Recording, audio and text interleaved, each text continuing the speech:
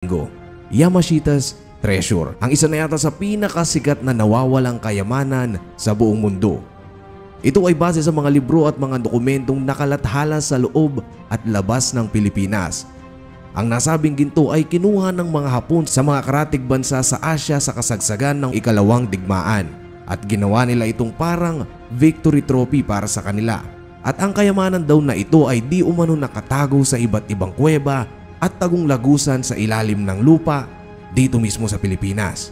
At mula nung kumalat ang kwento tungkol sa nakatagong kayamanan, ang balita ay talaga namang nakaakit sa mga taong gustong hanapin ito. Hindi lang dito sa Pilipinas kundi sa lahat ng treasure hunters sa iba't ibang bansa. At ang matagpuan ng isa sa mga lugar na pinagbaunan ng nasabing kayamanan ay ang matagal ng mithiin ng isang Pilipinong treasure hunter na nagngangalang Rogelio Rojas. Pero ang hindi niya alam ang kanyang paghahanap sa kayamanan ay matutunugan ng isa noon sa pinakamakapangyarihang tao sa Pilipinas, ang dating Pangulong Marcos. Ito ang kwento ni Rogelio Rojas, ang taong nakahukay sa Yamashita's Treasure.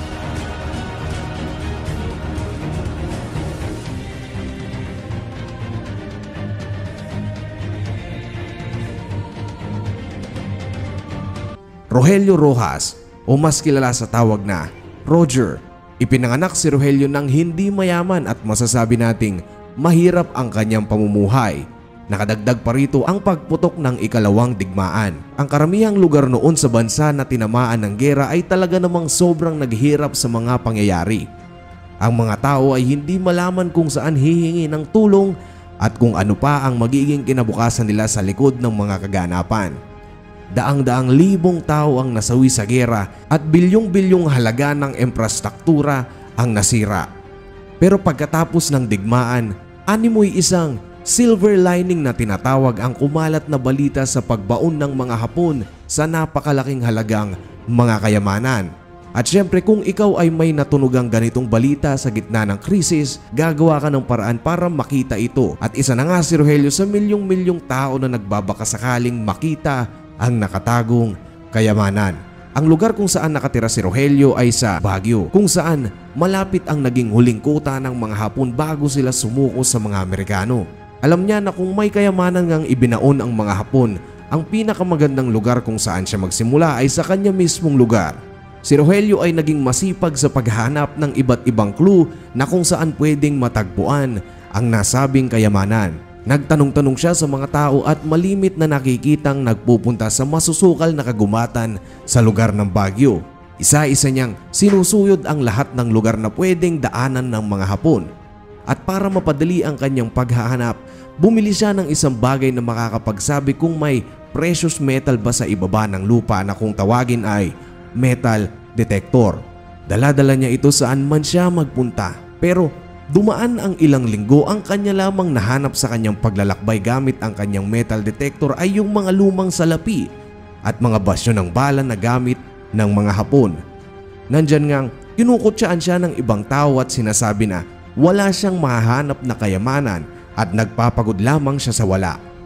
Pero hindi siya nagpatinag. Alam niya sa puso't isipan niyang darating ang araw na mahahanap niya ang pinapangarap niyang kayamanan. Taong 1961, si Rogelio ay nakakuha ng isang mapa na pwedeng makapagturo sa eksaktong lokasyon ng nasabing ginto.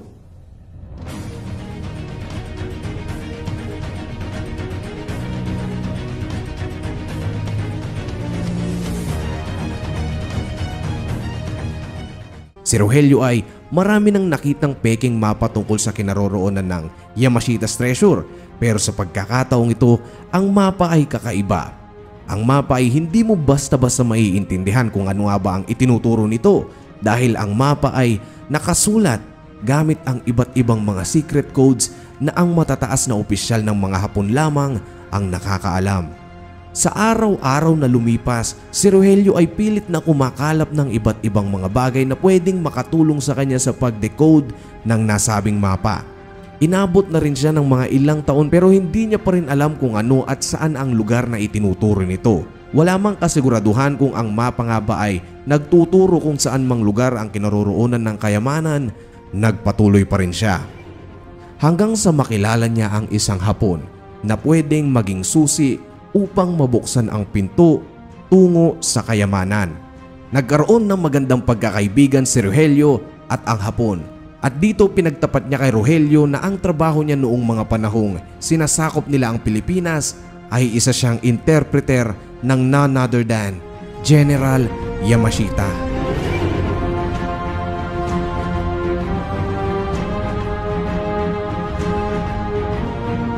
Sinabi niya kay Rogelio na si Yamashita ay may daladalang napakaraming ginto sa Baguio noong nararamdaman niya at ng kampo niya na humihina na ang pwersa nila dito sa Pilipinas. At doon nga inilabas na niya ang impormasyong matagal nang minimithi ni Rogelio.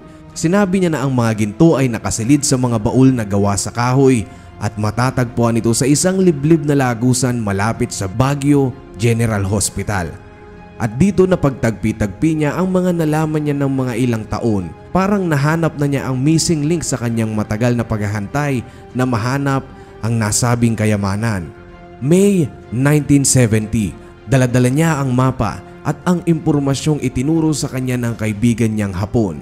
Sinimulan niyang hanapin ang sinasabing kayamanan, ginamit niya ang lahat ng kanyang ipon para makahanap ng trabahador na tutulong sa kanya. At doon walang patid ang pagsuyod nila sa makapal na kagubatang malapit sa sinasabing hospital. Araw at gabi sila lahat nagtatrabaho. Pagkaraan ng dalawang linggo, nakahanap si Rogelio ng isang bukana ng kuweba. Ito na ba ang lagusan na itinuturo ng hapon sa kanya? Isang daang metro mula sa lagusan ay may namataan silang mga bumagsak na malaking bato. Para siguro sa iba ito ay hadlang at hindi na dapat magpatuloy pa. Pero para kay Rogelio ito ay magandang senyales dahil base sa mga nalaman niya ang mga hapon na nagtago ng kayamanan ay sadyang pinasabog ang bukana ng mga lagusan para ito ay magsilbing harang para hindi makapasok sa loob. Kaya si Rogelio at ang kanyang mga tauhan ay sinimulang isa-isahing tanggalin ang mga batong nakaharang. Si Rogelio at ang mga trabahador niya ay talaga namang mahirap ang sitwasyon at nahihirapang tanggalin ang mga batong nakaharang dahil na rin kulang ang kanilang kagamitan. Isipin nyo sa loob ng kuweba na hindi napupuntahan ng ibang tao, maraming mga insekto at maraming ahas ang nanirahan na dito. At ang isa pang kinakatakot niyang mangyari ay kung magiiwan nga sila ng napakaraming ginto sa isang lugar, malamang magiiwan sila ng trap na pwedeng makapigil sa mga taong magtatangkang buksan ito. Bawat pokpok, bawat pawis at dugong pumapatak sa kanya at ng kanyang mga trabahador ang lagi niyang sinasabi sa kanyang sarili, isang bato pa, isa pang hukay at matatapos din ang lahat. Pagkatapos ng mahabang paghuhukay, nagulat ang lahat sa kanilang nadiskubre. Kaliwat kanan ang mga kalansay sa loob nito at may naiwang mga damit. At hindi lang ito basta-basta mga damit kundi ito ay mga Japanese military uniforms. Ito na ba ang bangkay ng mga taong tumulong para ibaon ang nasabing kayamanan? Kasama ng mga bangkay na nakita sa loob ay ang napakaraming lagusan. Si Rogelio at ang mga tauhan niya ay nabuhayan ng loob at nagpatuloy sa kanilang paghahanap ng ginto. Walang patid ang kanilang operasyon. May mga taong nakatokas sa bawat oras at sa bawat araw. Sinuyod nila ang kailali-ilaliman ng mga lagusan sa loob. Anim na buwan ang lumipas mula nung nadiskubre nila ang nasabing kuweba. Ang buong team ay walang natagpuang kahit isang ginto. Dumating na sa puntong ang kanyang salapi ay naubos na dahil na rin syempre kailangan niyang pasahuran ang mga empleyado niya sa paghukay sa nasabing kuweba at wala na siyang maisip na paraan para makakuha ulit ng salapi. Walang pera, ibig sabihin walang trabahador at mukhang dito na nagtatapos. Si Rogelio ay napaupo na lang sa isang gilid ng kuweba, nakahawak sa ulo at maluhaluhang tinitingnan ang kanyang mga trabahador. At dito naisip niya na bago niya pa tuluyang itigil ang lahat, may isa pa siyang bala na pwedeng gamitin. Ang kanyang biniling metal detector. Ginamit niya ang kanyang metal detector at wala siyang lugar na pinalagpas ng hindi nagagamitan ng metal detector. At doon narinig niya ang napakalakas na tunog na nagmumula sa kanyang kagamitan. Inutusan niya ang lahat ng kanyang trabahador upang bungkalin at hukayin ang likod kung saan tumutunog ng malakas ang detektor. At doon nga nakita niya ang kulay gintong liwanag na bumabalik sa kanya mula sa kanyang dalang gasera para itong bituing kumikislap na ilaw sa mga mata niya. Sa likod ng pader ay ang isang gintong estatwa ni Buddha.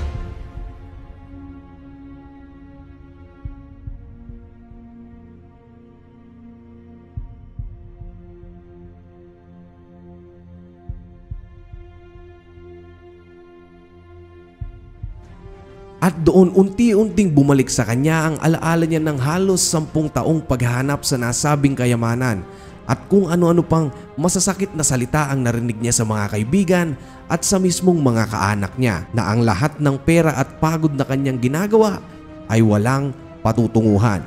Nagkaroon siya ng life contentment dahil natupad niya ang matagal na niyang gustong matagpuan.